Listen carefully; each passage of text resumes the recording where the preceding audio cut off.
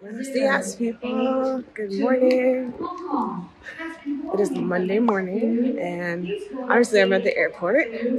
I am headed to Bali, and I'm so excited. But before I get to Bali, I have a pit stop at the Singapore airport, which I'm even more excited about because that has been a place on my bucket list for a while now. This airport is is just I'll have to show y'all. You'll have to see it when I get there. But yes, um, Allegra is staying here in Bangkok. So we are actually parting ways. I'm gonna miss her. She's been such a great travel companion. But now we're back to the solo travel life. So let's do this. All right, we are in Singapore. The airport is so chill.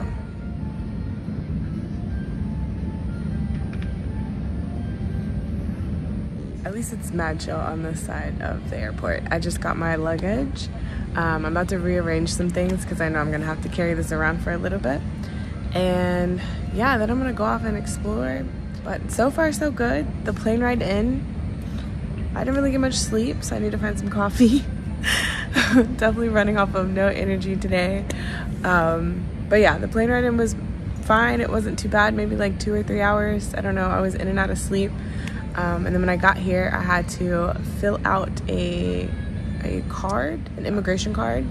Um, so if you are coming to the Singapore airport, whether you are coming through for a transit stop or you're coming to actually stay in the country, you have to fill out their immigration card. Just a heads up. Let me rearrange my stuff and check out this airport. So finally got all my luggage situated, made it through customs, and I'm like, I have no idea where to go where to begin. Okay, so I kind of figured out where I'm going. I'm not gonna lie, it's not confusing here. But we're going to get on the SkyTrain to T1 and see what is in T1. Hopefully there's food. I keep seeing this jewel and I don't know what it is. So let's.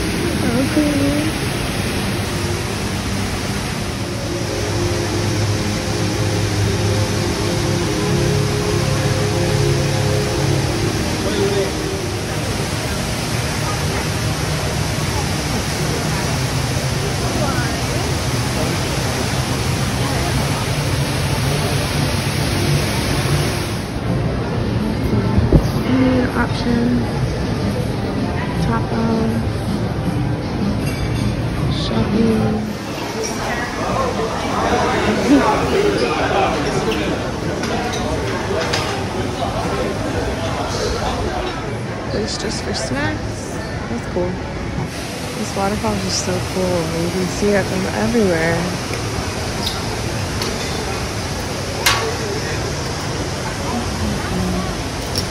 Alright, I ended up finding this place. I'm gonna get a rice bowls, a little lunch special. Um, yeah, that's the actual restaurant. This is their seating area. And I got good views.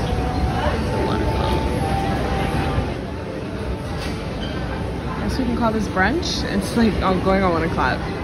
But um, yeah, got kimchi, kimchi fried rice, uh, cabbage, salad, chicken, and it came with an iced tea.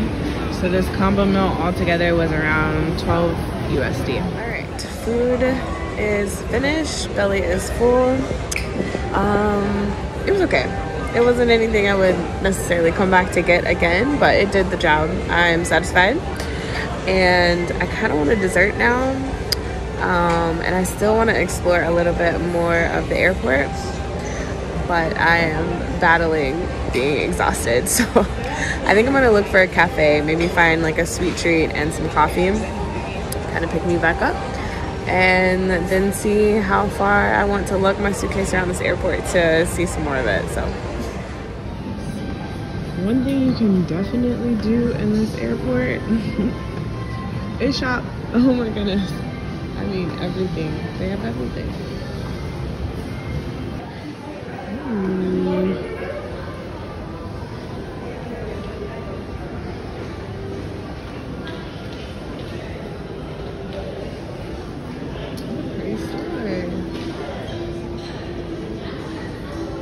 So there's also a IMAX theater in this airport. From my understanding, it's 24 hours. Cool is that?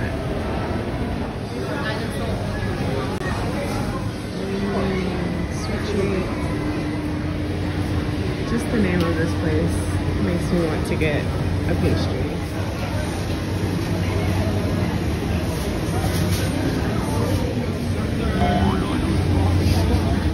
Okay, I was gonna try the last place, but then I found these cinnamon rolls. These look so good. I'm torn. There are so many like places down here to eat. And of course, KFC, Dunkin' Donuts. I found McDonald's too, and Starbucks. The typicals are here as well. And I'm also realizing I came downstairs, so I ate upstairs on the floor above this one, and I'm on the ground floor. This is where they have the food market and everything. It's very much giving food market vibes, um, like in Thailand. So things are like you can get little snackable things that are pretty affordable, like maybe between like five or six dollars, um, and eat for cheap down here and eat at a lot of different places. So I kind of ate at the bougie place, didn't realize I was just hungry and picked a place to eat upstairs. But down here, there's more affordable options and it's a wide variety of different things to eat. Um, so yeah, I'm gonna try the cinnamon roll and see if it tastes as good as it looks.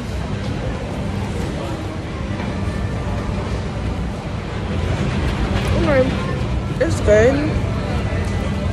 It's not as like gooey, gooey moist in the center as I wanted it to be. They're definitely not top in Cinnabon. but like overall it's pretty good. Give it a 4.2. Mm, good.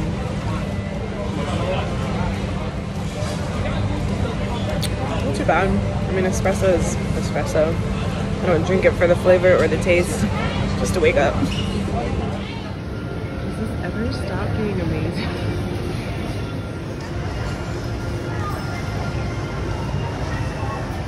Okay, so it seems like this ground floor is basically just food, some more shopping, and of course cool views of the little waterfall.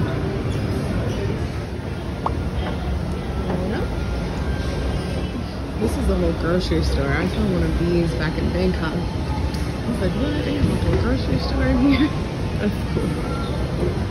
Back to the second floor. This is where I started. Again, more just shopping and restaurants.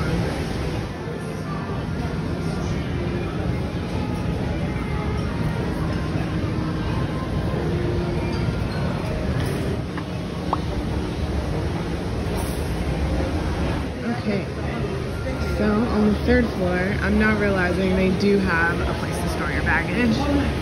But since I'm only here for a few more hours, I'll just continue to lug it around. At this point, it just won't really make a difference. I'm just here for a few more hours. Though majority of my time was spent gazing at the waterfall, there are a wide variety of other things to see and do at the Changi airport. It's known as one of the best places to eat, shop, and relax and it was named Best Airport in the World in 2023. Inside, you can find more than 300 stores from boutique to big name brands, a rooftop pool and bar, a gym with showers, a butterfly garden and other greenery and wildlife, a rock climbing wall, snooze lounges and nap rooms, more than 100 bars and restaurants, a local street food market, a 24 7 movie theater, art collections and exhibitions, a monorail, a canopy skywalk, a hedge maze, transit hotels, and an underground carnival with slides, monkey bridges, and trampolines. Seriously, this airport is top notch. That waterfall did not disappoint. Now to see what else is in this airport.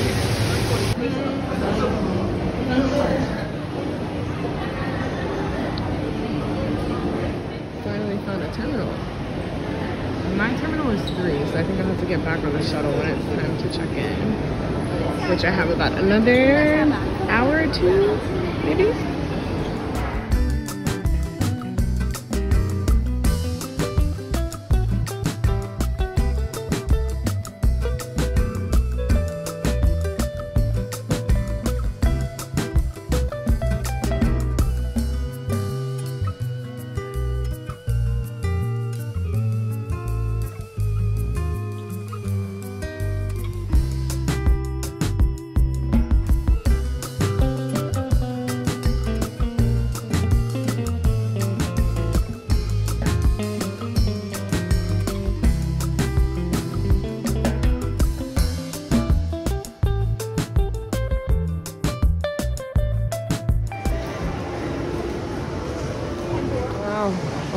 Dedicated to chocolate. And we're going up again. It really is just like a mall in here. it's a mall and an airport. Installation art everywhere. Seriously, will never get old. Finally found the good lighting with the waterfall. Yes. This is the Instagrammable spot up here. Honestly, I've lost track what floor I'm on. This maybe four or five. but I think there's one more after this one. More shopping, more food. Headed up to the top and final floor, finally.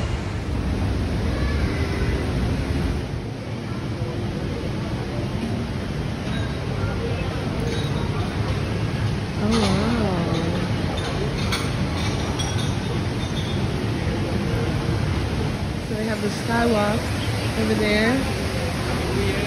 We can cross closer to the waterfall. Okay, so some of the things up here, like this, looks like the skywalk, where they have like a canopy park this way. There's also a maze. You can do these, but they're all ticketed attractions. So buy a ticket, into this section.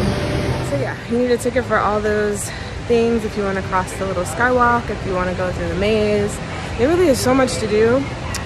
Um, but I'm not trying to miss this flight, so I'm gonna make my way back downstairs, figure out where my terminal is. And yeah, but this airport is so cool.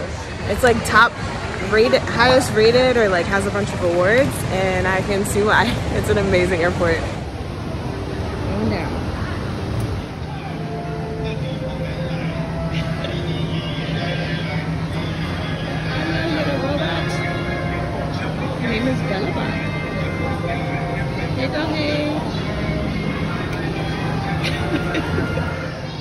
Technology here is next level. You come and just get a full body massage.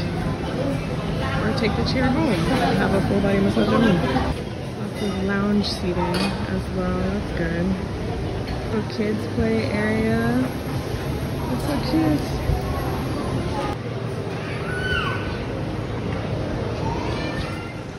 Dragonflies. Finally found where to go to check in for my flight. Oh my goodness. This mall is huge. I mean, small, this airport. this is what I mean by reshuffling my bag. I travel with this carry-on bag, this duffel that I can fold and put in my suitcase. This poor child. poor baby. Um, so right now my bag is overweight, no shocker. As a digital nomad, this is my whole life in a suitcase. So I'm about 10 pounds over, or 10 kg over.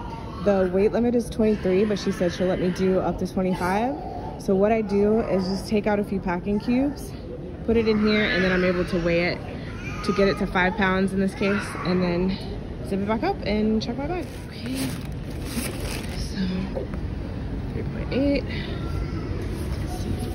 workout clothes in there. A 5.7. Overachiever. Ow, ow. okay, all checked in. That's always the most nerve-wracking part for me because I know I'll be overweight and it's a matter of like how nice the flight attendants will be to let me go over the limit a little bit or not and how much I have to rearrange. So now I just gotta get through security and get checked in for this flight. The express that was kicking in. so I just went through security and immigration in like less than two minutes. They are so efficient here. If I would have known it was gonna be that easy, I wouldn't have rushed to get here to check in for my flight.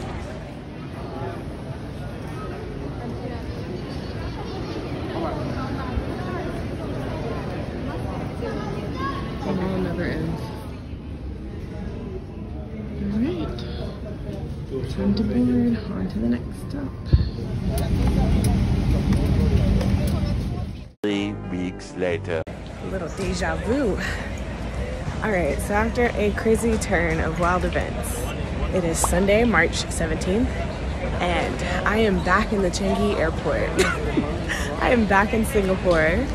I was on my way to well, I'm not gonna tell you guys where I'm going. You have to subscribe and find out. But I was on my way to my next destination and I had a layover here on the way back for just an hour, but my initial flight got delayed and they have no more flights out tonight. So I got put into a hotel for the night and I'm here collecting my bags so that I can head to that hotel.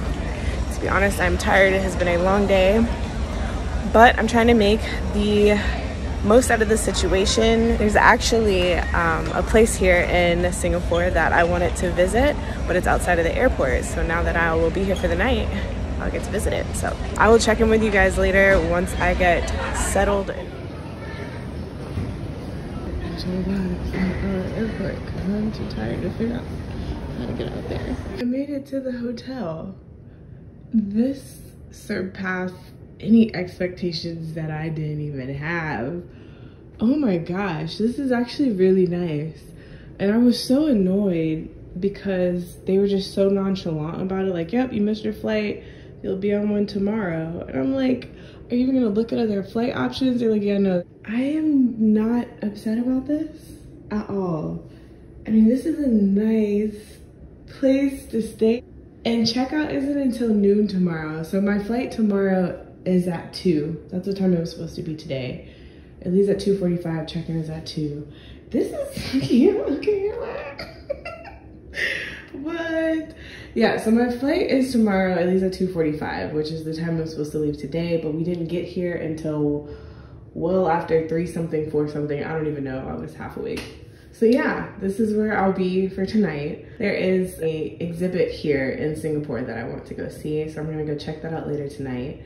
Um, they also gave me a voucher for dinner tonight, which that had me blowing too. They gave me $30 to have food tonight. I was like, okay. If y'all watch my vlog when I went back to the US, the same thing happened to me in Miami. And they put me up in this really raggedy hotel for the night and like the food it was barely edible. It was a barely edible meal. This, I was able to walk to this. It's just, I was in Terminal 1. I took the SkyTrain, got to Terminal 3. It looks like this. Oh my goodness. Like, I actually feel like I'll be comfortable here tonight. The other place, I didn't even want to sleep in the bed. Like, it was so gross. Life in the States is so much different. The quality of things is just night and day. Anywho, enough rambling. Obviously, I'm content with my humble abode for tonight. I'm gonna shower, I'm gonna get some food, and go check out to see what I can see while I'm here in Singapore for 24 hours.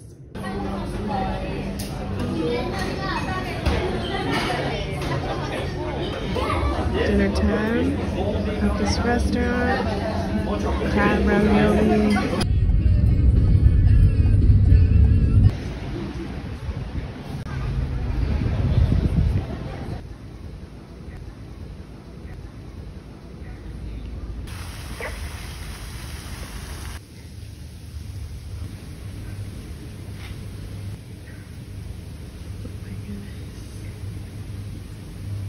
I made it out here, but I missed the light show. It's only from 7.45 to 8.45. Google Maps said it was open till 2 a.m. Google Maps will have you out here looking absolutely crazy, man. I'm so sad. Well, I got to see the trees, I just didn't get to see them lit.